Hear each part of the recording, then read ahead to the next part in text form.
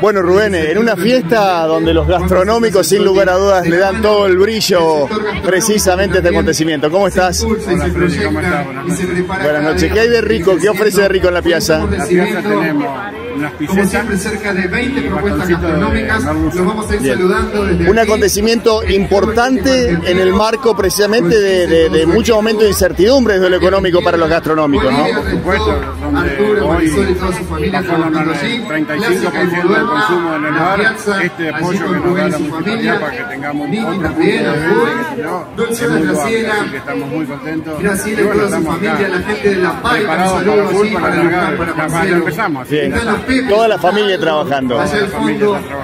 Bien, ustedes bastoncitos de mozzarella y, y de merluza, perdón, y pizzas. Bien, y los chicos de clásica. Tradicional hamburguesa y papas fritas. Bueno, Colo, este, trajeron un arsenal hoy porque la noche se presta. Sí. Muy bien, muy bien. Estamos, creo que estamos, estamos bien, estamos bien, venimos bien. La gente espera poco, así que es importante. Claro. Hola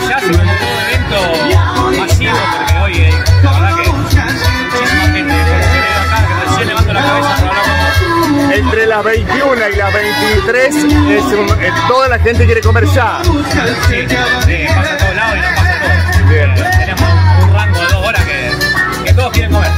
Colo, tenés clásicos y tenés algo nuevo también. No, hoy eh, tengo clásico, tengo una hamburguesita con tomate, una salsa ranch, ajo, Bien. un toquecito picante y tengo una bondiola braseada con cebolla. ¿Qué es lo que más Frita. ¿Qué es lo que más está saliendo? Está palo y palo. Palo